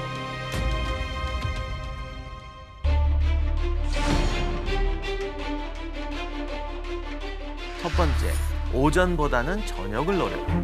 대중의 판단력과 비판력이 활발하게 움직이는 오전보다는 저녁을 활용해서 연설을 해야 그 연설을 무비판적으로 수용하게 되고 감정적 소통도 된다는 것이죠. 실제로 오전에 연설을 했다가 완전히 실패한 경험이 있었던 히틀러는 저녁 연설을 더더욱이 선호했다고 합니다. 그리고 히틀러는 실제로 청중의 기대감과 갈망을 더 끌어내려고 연설 회장에 일부러 늦게 도착합니다.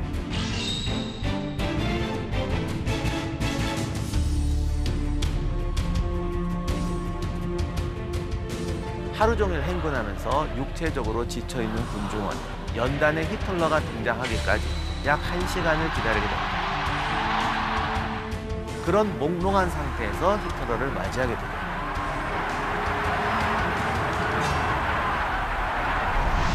그리고 이제 횃불, 캠프파이어, 서치라이트 이런 장치가 추가되면서 더더욱 이성적 판단보다는 감정을 자극하는 분위기를 연출하게 되고 연단에 선 히틀러를 서치라이트로 비추고 관중석은 불을 끈 상태로 만들어서 대중의 숭배와 경외심을 고조시킵니다. 또 연설이 끝난 후에 비행기를 타고 밤하늘의 조명을 받으면서 청중의 머리 위로 막 선회합니다. 그렇게 하면 더 이게 마법적인 효과가 나가지고 히틀러가 되게 좋아했다고 합니다.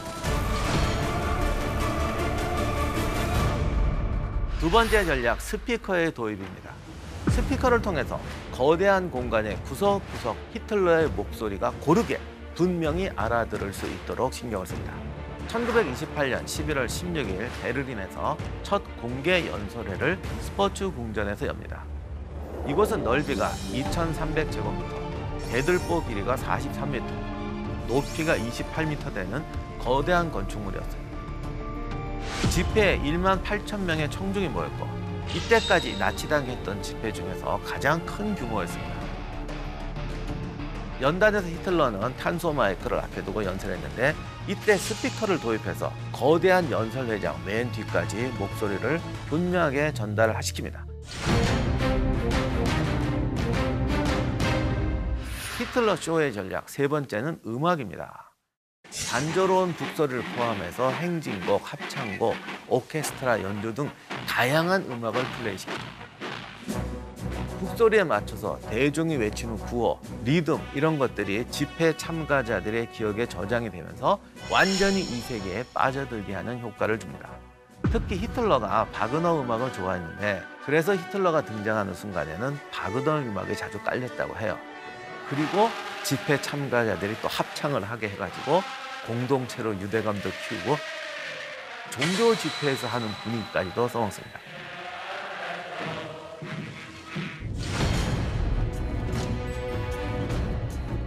히틀러 쇼의 전략 네 번째는 제스처입니다. 우리가 히틀러 하면은 맨날 이런 장면만 보잖아요.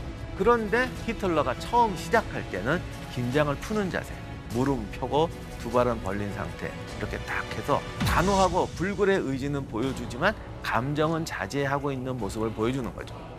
이렇게 해서 대중 앞에서 히틀러가 긴장하지 않았다는 것도 보여주고 어려움 없이 연설의 분위기를 딱 장악하고 있다는 걸 보여주는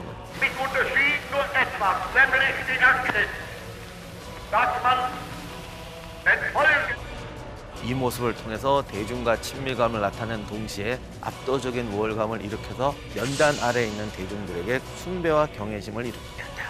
내가 주인이 되느냐, 내가 대중의 노예가 되느냐의 싸움이에요. 이런 거를 극복하는 사람이 이기는 거죠. 히틀러는 연설이 클라이맥스를 향해서 고조되면 하이라이트 화면에 잘 나오는 이제 그런 동작들 하는데 이것이 통하게 하도록 전체적인 분위기를 끌고 나가는 게 되게 중요합니다.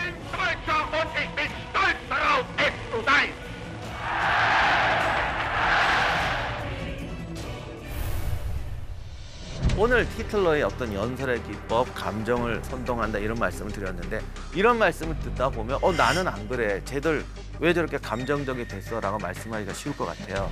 그런데 감정적인 단어를 써서 성공한 게 아니라 감정적인 단어가 먹히는 사회가 되어 있었던 거예요. 히틀러의 시대는 모든 사람들이 불안하던 시대였어요. 히틀러는 그들 앞에서 저 사람이 나에게 어떤 이익을 가져다 줄 것이라는 이기적인 감정을 끌어오게 한 게 성공의 비결이었어요. 세상은 항상 바뀌어 나갑니다. 어떤 분은 히틀러는 다시 등장하지 않을 거라고 말합니다. 그러나 우리의 미래 역사도 얼마든지 전쟁이 날 수도 있고 미래가 보이지 않는 불안한 사회가 나올 수 있습니다. 누군가가 나의 이익을 위해서 남의 이익을 극단적으로 희생시킬 수밖에 없다 라는 결정을 내릴 때 우리들 앞에 독재자는 언제든지 나타날 수 있습니다. 큰 키, 하얀 피부, 파란 눈, 금발머리. 히틀러가 말하는 진정한 독일인이란 바로 이런 외모를 가진 사람들이었습니다. 이들이야말로 동부 유럽 전체를 아우르는 광대한 제국을 건설할 우월한 존재고 이들을 제외한 사람들은 열등한 유전자를 가진 자들로 세상에서 사라져야 할 존재라고 믿었습니다. 히틀러의 끔찍한 믿음은 제2차 세계대전 동안 유대인 600만 명을 학살이라는 무덤으로 몰아넣었고 잔혹한 결과를 낳습니다. 히틀러는 무엇 때문에 유대인을 극도로 혐오했던 것일까요?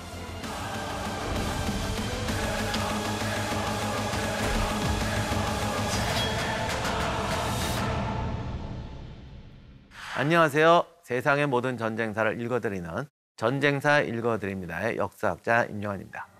원래 유럽의 반유대인 정서는 이미 중세 시대부터 존재하던 것입니다.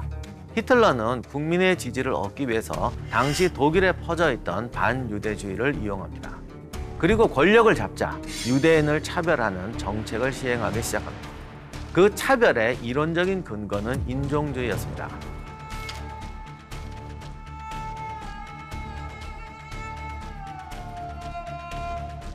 고등 인종인 게르만 민족의 순수성을 이어가기 위해서는 하등 인종 유대인과 피가 섞여서는 안 된다고 주장했던 것이죠. 그러면 히틀러와 나치는 왜 하필 유대인을 타깃으로 삼은 것일까요? 히틀러가 나의 투쟁에서 유대인을 어떻게 묘사했는지 살펴보겠습니다. 사무실마다 유대인들로 가득 차 있었다. 거의 모든 사무원이 유대인이었고 거의 모든 유대인이 사무원이었다.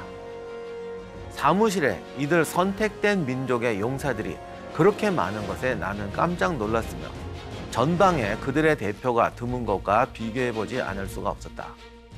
경제 쪽을 보면 사정이 더욱 나빴다. 여기에서 유대인들은 정말로 없어서는 안 되는 존재가 되어 있었다. 거미가 천천히 민족의 땀구멍에서 피를 빨아먹기 시작하고 있었다. 히틀러는 용감한 독일 사람들이 조국을 위해 싸우다가 죽어가는 동안 비겁한 유대인들은 의무를 회피하고 편안한 사무실에서 즐기고 있었다고 주장합니다. 실제로 산업혁명 후에 유대인들은 다양한 산업 분야에 진출합니다. 독일 경제 발전에 사실 크게 기여를 했습니다. 1933년까지 노벨상 수상자의 3분의 1이 독일인이었는데 그 중에서 3분의 1이 유대인이었습니다. 그러다 보니 사회적으로 성장하고 좋은 직업을 가지는 유대인에 대한 독일인의 반감이 점점 커져갔죠. 그런데 1차 세계대전에서 독일이 패하자 독일 내에서 유대인이 상업, 무역업, 금융업, 해운업, 유통업 등 경제 활동을 더 활발하게 하게 되죠. 그러자 독일인들은 유대인이 독일 경제를 장악하고 있다고 믿게 됩니다. 당시 독일 인구 중에 3%가 유대인이었는데 이들이 독일 경제에서 차지하는 비중은 40% 정도나 되었다고 합니다.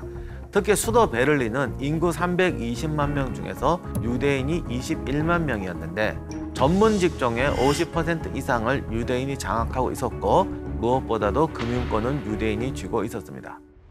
제1차 세계대전의 패배로 막대한 배상금을 갚아야 했던 독일은 초인플레이션과 대공황을 겪으면서 550만 명의 실업자가 발생합니다. 대량 실업 사태로 굶어 죽는 사람도 속출합니다. 독일 국민의 불만이 하늘을 찌르는 듯하기 때문에 초인플레이션과 식량 부족을 설명하려다 보니 희생양이 필요했고 히틀러와 나치는 반유대주의를 공략해서 유대인, 금융인을 타깃으로 삼습니다. 히틀러는 유대인이 독일 민족의 깨끗한 혈통을 더럽힐지도 모른다는 두려움을 강조합니다. 일부 유대인들이 운영하던 매춘 사업, 당시 치료제가 개발되어 있지 않았던 매독을 연결시켜서 유대인들이 게르만 민족의 혈통을 타락시키고 있다고 주장합니다. 악마의 웃음을 띤 얼굴에 검은 머리를 한 유대인 청년이 순진한 처녀가 지나가길 몰래 숨어 기다렸다가 그녀를 범하고 피를 섞음으로써 그녀를 자기 핏줄로 만든다. 그는 온갖 수단을 다 동원해서 자기가 정복하기로 작정한 민족의 인종적 토대를 파괴하려고 한다고 말합니다. 즉 유대인들은 음탕한 약탈자들이고 순결한 독일 처녀들을 유혹해서 그들을 더럽히고 처녀들 자신과 민족 전체의 피해 순결성을 무너뜨린다고 주장합니다. 그런데 이 비유는 히틀러가 만든 건 아니고 오랜 반유대주의의 이야기예요. 그래서 수많은 선동물, 선전물, 만화 등으로 많이 퍼져 있던 이야기입니다. 그러면 이런 유대인 차별의 근거는 도대체 뭔가? 히틀러와 나치는 세계가 뚜렷한 인종으로 나뉘어 있고 어떤 인종은 다른 인종들보다 우월하다고 믿습니다. 그들은 독일인이 우월한 아리아인 종족의 일원이면서 유대인종이 가장 열등하고 위험하다고 주장합니다. 따라서 나치는 유대인이 영구적으로 부패하고 독일 국민을 파괴할 것이다. 그러니 독일 사회에서 제거되어야 할 위협적인 존재라고 주장합니다. 심지어 유대인 유머의 젖도 독일 아이에게 해롭다라는 말을 합니다. 그래서 이때 인종위생이라는 신조어까지 쓰게 돼요. 그런데 히틀러가 이런 말을 한 것보다 이런 말이 먹혔다는 것이 중요하죠. 여기에는 역사적 사회적으로 굉장히 중요한 요인들이 깔려 있습니다.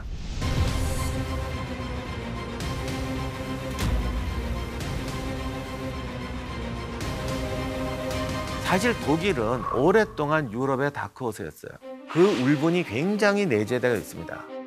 특히 나폴레옹에게 점령당하고 그 이후에 독일을 재건하고 통일하는 과정에서 강력한 국가 민족주의가 탄생합니다.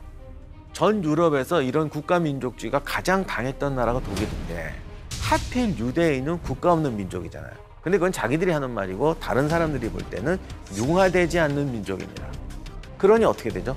우리 국민이 아니라 유대인은 우리의 부와 산업을 이용해서 우리들의 이익을 빼가는 사람이라는 인상이 생기는 거죠. 그리고 재미난 게 당시 원래 반유대 정책의 본사는 독일보다 러시아였습니다. 러시아에서 수많은 피난민들이 독일과 동유럽으로 오게 돼요. 그러자 독일하고 동유럽에서도 반유대 단체들이 나치 집권 전에 우후죽순처럼 솟아나 있었습니다. 1919년에서 22년까지 정치 테러가 발생합니다. 정적 암살이 376건인데 탈해당한 사람 중 354명이 유대인이었습니다. 그 다음에 또 하나 중요한 게 원래 유럽 사회에서는 유대인에게 토지 소유를 금지시켰습니다. 이게 오히려 유대인들이 부르조아적 전문직, 금융, 교육, 문화, 예술 이런 쪽에 집결해서 그쪽을 장악하게 하는 계기가 되었던 거죠. 그런데 유대인이라고 다잘산건 아닙니다. 빈민도 굉장히 많았어요. 차별받고 그러니까. 그러면 고통을 받으니까 분노도 생기게 되잖아요. 그래서 사회주의 혁명에서도 유대인들이 선구적 집단이었습니다. 그 유명한 칼 마르크스, 로자 룩셈부르크도 유대인입니다. 그런데 1917년에 러시아 혁명이 발생하면서 이 러시아 혁명에 대한 과장된 이야기들이 막 독일 사회에 들어오니까 러시아 혁명 공포증이 생깁니다. 그러다 보니 사회주의에 대한 공포증이 유대인에게 가죠. 그런데 유대인은 또 금융 이런 거 꽉 쥐고 있잖아요. 그러니까 극우, 극좌 이쪽에 대한 모든 불안과 불만이 전부 유대인에게 가고 결국 좌우 진영 모두에게 유대인은 반민족주의자면서 국가 의식이 부족한 국제주의의 기득권 선도 집단이라는 인식이 생깁니다.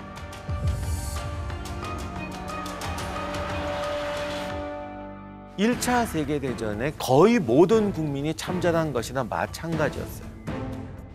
지금까지 세상에서 경험하지 못했던 참혹한 전쟁이었어요. 이런 극한의 전쟁을 경험하면서 사람들이 극단적인 폭력, 하나를 얻기 위해서는 하나를 희생할 수밖에 없다. 이런 전장의 논리를 사회에다 적용하게 되는 거예요. 여기에 경제 공황 왔죠. 극단적 좌우 대립 왔죠. 독일 사회에서 혁명 발생하죠. 쿠데타 발생하죠.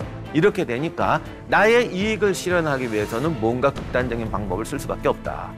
그런데 히틀러가 나와서 나는 그런 지도자가 되겠다라고 하니까 모든 계층이 히틀러가 나의 이익을 위해서 무언가를 해주겠구나라고 생각하게 되는 겁니다.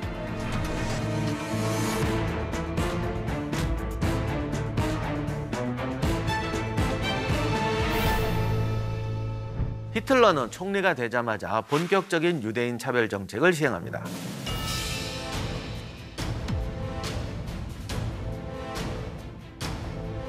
(1933년 4월 1일) 독일 정부는 유대인 상점과 사업체에 대한 경제적 일일 보이콧을 공식적으로 선언합니다. 유대인 상점을 약탈하고 유대인을 산발적으로 폭행하면서 유대 상점의 불매 운동을 시작합니다. 유대인 시민의 권리를 취소한 첫 번째 법률은 전문직 공무원 보건에 관한 법률이라는 것이었어요. 1933년 4월 7일에 발표된 공무원법에서는 아리아인 혈통이 아닌 공무원은 퇴직해야 한다라고 명시합니다. 이에 따라서 비아리아인은 공무원직을 박탈당하게 되죠. 이것은 조직, 직업, 공공생활 등에서 유대인을 제외시키는 데 사용된 최초의 법적 공식이었습니다. 1934년 제3공화국 총통에 오른 히틀러는 베르사유 조약을 전면 폐기합니다. 전쟁 배상금을 지불하지 않겠다고 선언하죠. 그리고 독일 제국군은 무제한으로 무장한다. 본격적인 전쟁 준비에 들어가게 됩니다. 그러자 히틀러와 나치에 대한 지지율은 점점 상승하게 됩니다.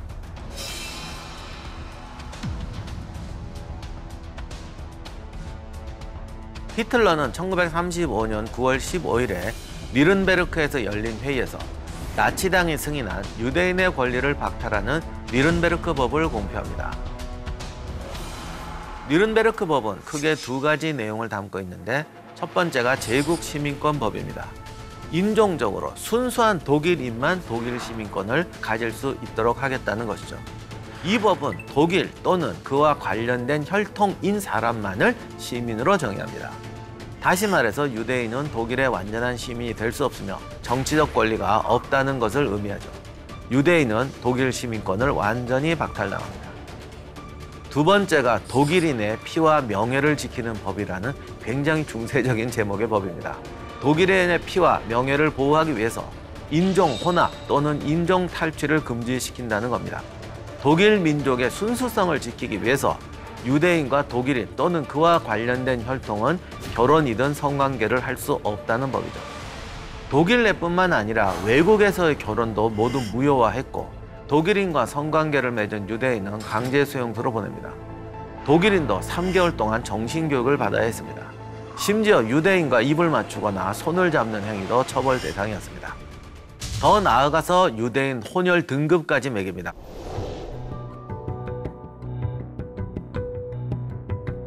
완전한 유대인이란 뭐냐? 친조부모와 외조부모 중에서 적어도 세명이 유대인일 경우에 해당한다. 두 사람이 유대인이고 두 사람이 아니라고 해도 유대교를 믿고 있거나 나중에 믿게 된 사람 또는 유대인과 결혼한 사람도 완전한 유대인이다.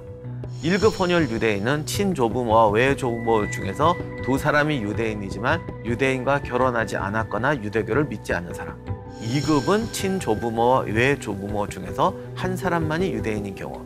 이런 식으로 나치는 조부모의 인종적 신분을 증명하라고 했고 독일인은 출생 기록, 세례 기록, 유대인 공동체 기록, 사망 증명서, 묘비까지 찾아서 제출해야 했어요. 심지어는 족보학자까지 고용했다고 합니다. 뉘른베르크 법이 제정되면서 유대인들이 직장에서 쫓겨나기 시작합니다. 1934년 말까지 유대인 출신 변호사 1,400여 명이 자격을 박탈당하고 판사와 검사 381명도 해임됩니다. 1935년까지 독일 유대인 출신 의사 절반 이상이 의사직에서 쫓겨났고 유대인 소유 기업은 배척을 받아 파산하고 지방정부와 법원, 대학에서도 쫓겨납니다. 뉘른베르크 법은 독일인과 유대인을 철저하게 분리시키는 법이었고 유대인 학살의 최초의 법적 근거가 됩니다.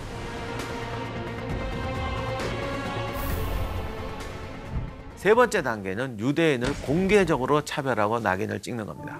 1938년 8월에 가족 명칭 변경법이란 걸 만들어요. 독일 내 유대인 중에서 남성은 이스라엘, 여성은 사라라는 이름을 추가해서 관공서에 신고하게 합니다. 이름만 들어도 알게 하는 거죠. 그리고 유대인 여권에 관한 법령도 제정합니다.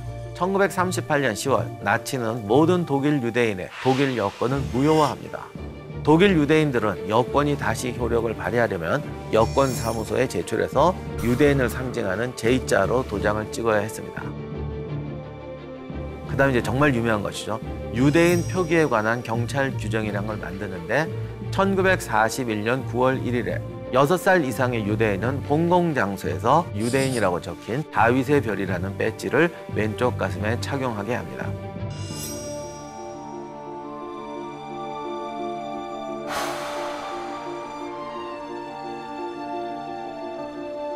독일과 오스트리아 합병으로 오스트리아 유대인들도 독일법이 적용됩니다. 모든 독일 유대인은 신분증을 회수하게 되죠. 이때 독일에 거주하던 폴란드 출신 유대인 17,000명이 나치에 의해서 집단으로 강제 추방을 당합니다.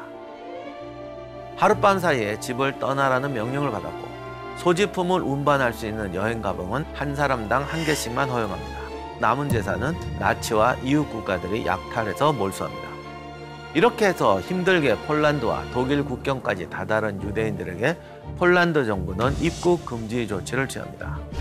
17,000명의 유대인이 국경에서 노숙을 하게 되었습니다. 그런데 여기에 그린슈판 부부가 있었는데 이들의 17살 난 아들 허셜 그린슈판이 파리에서 홀로 망명 생활을 하고 있었습니다.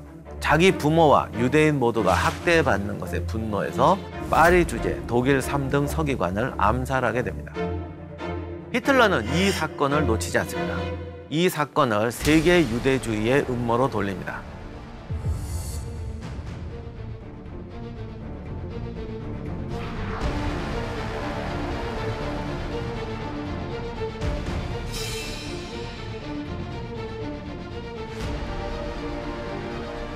1938년 11월 9일 나치 당원들과 돌격 대원들이 앞장서고 평범한 독일 시민들까지 합세해서 횃불과 벽돌 조각, 몽둥이를 들고 유대인 사냥에 나섭니다. 나치는 이날을 제국 수정의 밤이라는 아름다운 이름을 붙입니다. 산산이 부서져서 거리에 널린 유대인 소유의 가게, 건물, 회당, 유리 창문이 수정처럼 반짝였기 때문이라고 하죠.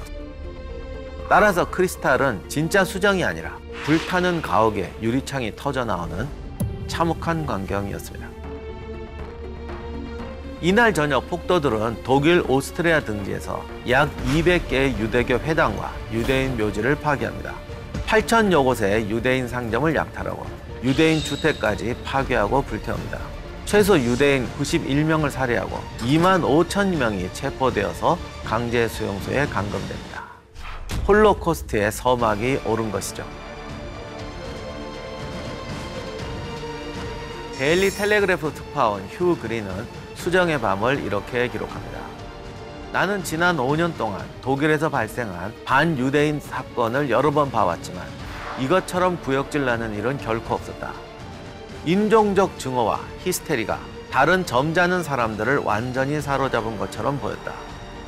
나는 멋진 옷을 입은 여성들이 손뼉을 치며 환희에 겨워 비명을 지르는 동안 존경할 만한 중산층 엄마들이 재미를 보여주기 위해서 그들의 아기를 안아 올리는 것을 보았다.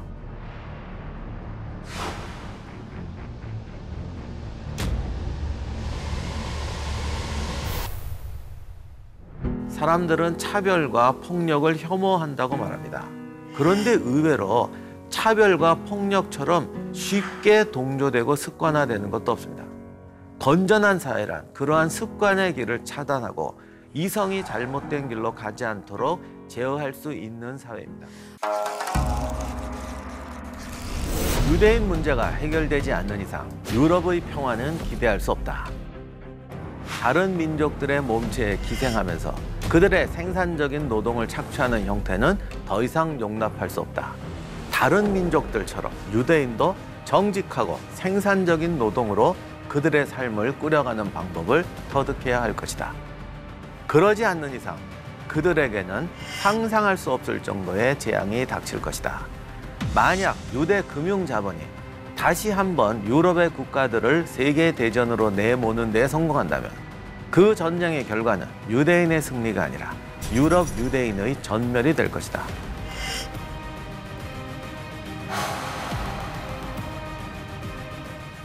히틀러에 의해 계획된 유대인 몰살 작전 인종 청소가 드디어 시작됩니다.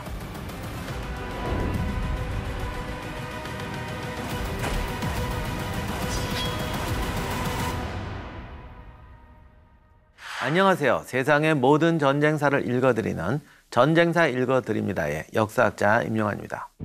수정의 밤 이후 1939년 9월 제2차 세계대전이 발발하면서 유대인은 이전처럼 사람답게 살 수 있는 기회를 모두 잃어버립니다. 공립학교에 다닐 수도 없고 사업을 하거나 직업을 가질 수도 없었습니다. 땅을 가질 수도 없었고 유대인이 아닌 사람과는 사귈 수 없었습니다. 공원이나 도서관, 박물관조차 갈 수 없었고 공공의자에 앉을 수도 없었죠. 저녁 8시 이후 외출이 금지됩니다. 대중교통도 이용할 수 없어서 걸어 다녀야 합니다. 모든 가정집에서 전화기를 압수했고 공중 전화에는 유대인 사용 금지라는 경고 문구를 붙입니다. 도로에 나서기만 해도 독일 교통 사회에 저촉되는 행위로 간주해서 운전 면허증을 취소합니다. 그나마 1939년까지는 독일 정부에 돈만 내면 유대인이 독일을 떠나는 것이 가능했습니다. 그해까지 독일에 거주하는 50만 유대인 중에서 30만 명이 독일을 떠납니다. 그러나 제2차 세계대전이 발발하자 모든 독일계 유대인과 오스트리아 유대인들은 폴란드에 마련한 게토에 보내져서 그 안에서만 살라는 명령을 받습니다. 여담이지만 이런 유대인 방출 정책을 통해서 가장 특혜를 본 나라가 미국이었습니다. 나중에 핵폭탄을 만들게 되는 양자 물리학 전문가들도 미국으로 이주하게 되고 의사, 대학 교수, 지식인들 상당수가 미국으로 이주하게 됩니다. 유럽사에서 어처구니 없는 정치로 인한 인재 유출이 두 번 있었는데요. 첫 번째가 프랑스의 위그너 탄압입니다. 이때 위그너들이 대체로 부르주아 전문 기술직 군인 직종을 하고 있었기 때문에 이들이 대거 이탈을 합니다. 그래서 프랑스 학자는 프랑스가 쇠퇴한 게 이것 때문이라고 말합니다. 근데 재미난 게 이 사건이 독일 부흥의 결정적인 요인이 됩니다. 그렇게 덕을 봤던 독일이 자기가 얻은 역사의 교훈을 깨닫지 못하고 유대인을 미국으로 보내서 미국의 발전과 부흥에 엄청나게 공헌했다는 것. 이것도 정말 아이러니 중의 아이러니죠. 독일 점령 지역에는 1,600개가 넘는 집단 수용소와 900개의 강제 노동 수용소가 생깁니다. 노동의 강도는 살인적이었고 강제 노동에 동원된 노동자들은 수용 이후에 평균 수명이 3개월에 불과했다는 기록도 있습니다. 1941년에는 이주 금지령이 내리는 바람에 도망가지 못한 유대인은 그 자리에서 죽음을 맞이해야 했습니다. 1941년은 강제 수용소의 목적이 구금에서 살인으로 변합니다. 나치는 전쟁에 돌입하면서 국민적 지지를 더욱 강화할 필요를 느꼈고 민족적 단합을 주도할 새로운 희생양이 필요해집니다.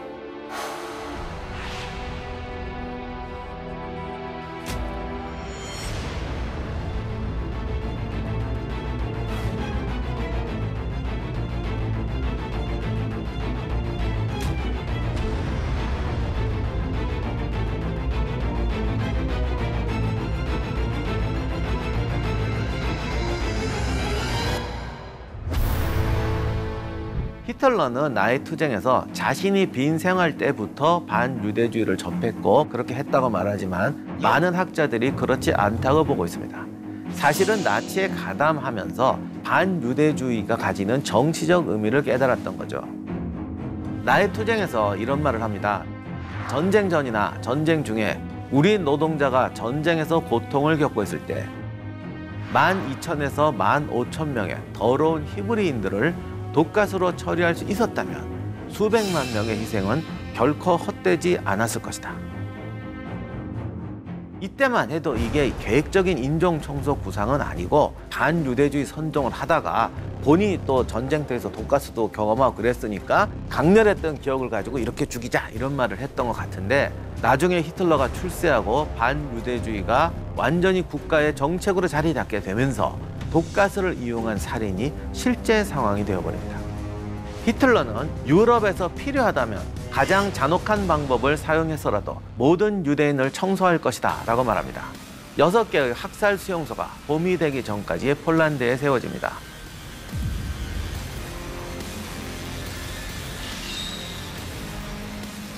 그리고 유명한 아우슈비츠입니다. 이 중 폴란드 쿨룸호프에 최초로 학살 수용소가 세워집니다. 1941년 12월 8일부터 유대인을 가스로 살해하기 시작합니다. 노동에 부적합한 유대인들을 불악 방식, 곧 가스 살해로 제거하지 않을 이유가 없다라고 하죠. 처음에는 총살이나 유대인을 한 건물에 모아놓고 폭발물을 터뜨리는 방식으로 학살했는데 이게 사실 시간이 엄청나게 걸렸습니다. 그러자 가스실에서 한꺼번에 학살하는 방식을 고안하게 됩니다. 아우슈비츠의 수용소 소장이었던 루돌프 헤스는 이런 말도 합니다. 비위가 약해서 총살이나 출혈 장면을 볼 수가 없기 때문에 독가스가 더 합리적이고 위생적이고 인간적인 방식이다. 트레블링카, 소비보르, 베우제츠, 루블린 네 곳에서는 트럭의 배기가스, 즉 엔진 배기가스 방식을 이용해서 유대인을 죽였습니다. 베우제츠 학살 수용소는 1942년 3월에 세워졌는데 이곳은 상설 가스실을 갖춘 최초의 학살 수용소였습니다. 베우제츠 학살 수용소에서 목격담은 유대인들이 얼마나 처참하게 학살되었는지를 알려줍니다. 먼저 기차 화물 차량에 6천 명 정도의 유대인이 실려 도착합니다. 내릴 때 보니까 이미 1,450명이 죽어 있었다고 합니다. 생존자들은 채찍질을 당하면서 기차에서 내립니다. 이들은 입고 있는 옷을 전부 벗어내 놓았고 안경, 돈, 귀금속까지 제출해야 됩니다. 여성이나 어린 여자아이들은 머리를 깎았습니다. 나치는 유대인에게 유버트 승무원을 위한 특별한 물품이나 슬리퍼를 만들기 위해서 필요했다고 설명합니다. 유대인 남자, 여자, 어린아이까지 모두 발가벗은 채 차례차례 가스실로 이동합니다. 이들을 향해 어떤 친위대 장교가 여러분이 할 일은 숨을 깊게 들이마시는 것이다. 이것은 폐를 강하게 만든다. 전염병에 걸리지 않게 하기 위해서다. 정말 좋은 소독제니까 라고 말하기도 했다고 합니다. 가스실은 사람들로 가득 찼고 이제 디젤차에 시동만 걸리면 배기가스가 나와서 유대인을 전멸시킵니다. 25분 뒤에 가스실 안을 들여다보니 유대인 대부분은 죽어 있었습니다. 32분 뒤에 다시 들여다보니 숨 쉬는 사람이 단 한 명도 없었죠. 실제로 목격자는 모든 사람이 현모암처럼 서서 죽었고 유대인에게는 쓰러지거나 기댈 1인치의 공간도 없었다고 회고했습니다. 일꾼 중에는 갈고리로 죽은 사람의 입을 벌려서 금리를 뽑기도 하고 항문이나 생식기를 뒤져서 귀금속을 찾아내기도 합니다. 그리고 마지막 시체들을 가스실 부근에 파놓은 참호로 던집니다. 어떤 참호는 길이가 수백 미터나 되었는데 며칠 동안 사체가 부풀어 오르는 게 가라앉으면 디젤유와 함께 불을 붙여서 재로 만들었다고 하죠. 바르샤바에서는 순전히 학살을 위해서 매일 6천 명씩 유대인을 선발해서 이동시키는 수용 소행 열차가 운영되었습니다. 여기서 인근 트레블링카 학살 수용소로 유대인을 실어 날랐는데 여기에는 8개의 가스실이 있었고 속옷을 포함해서 쌓아놓은 옷가지가 35m에서 40m 정도였다고 합니다. 친위대는 일부 유대인만이 수용소로 보내질 것이라는 거짓말을 게토에 교묘하게 퍼뜨립니다. 열심히 협력하면 살아남을 기회가 늘어난다는 거짓 희망을 유대인에게 불어넣습니다. 학살 수용소 중에서 최대 규모였던 아우슈비츠에서도 가스 살해가 시작됩니다. 가스실은 샤워실이라고 불렸고 유대인들은 샤워를 한다는 말을 듣고 가스실로 향합니다. 샤워룸처럼 보이도록 처형실 문짝에 적십자 마크를 붙여서 위장해 두었고 친위대는 유대인이 샤워룸을 향해 정렬하는 사이에 죄수들로 구성된 오케스트라에게 음악 연주까지 시킵니다. 아우슈비츠에는 다섯 개의 가스실이 있었고 가스실 하나당 하루에 12,000명, 즉 하루에 6만 명을 살해할 수 있는 시설이었습니다. 어떤 희생자의 주머니에서 오랜 여행 끝에 간신히 여기에 도착했다. 입구에는 샤워실이라는 표지가 걸려 있다. 밖에서는 사람들이 비누와 수건을 받아들고 있다. 놈들은 이제 우리에게 무슨 짓을 하려는 것일까? 라고 적힌 메모가 발견되기도 합니다. 이 아우슈비츠에서만 200만 명 이상이 살해되었습니다. 나치는 유대인의 저항을 최소한으로 억제하려고 게토에서의 이송은 공장으로 이동하는 것이라고 거짓말을 합니다.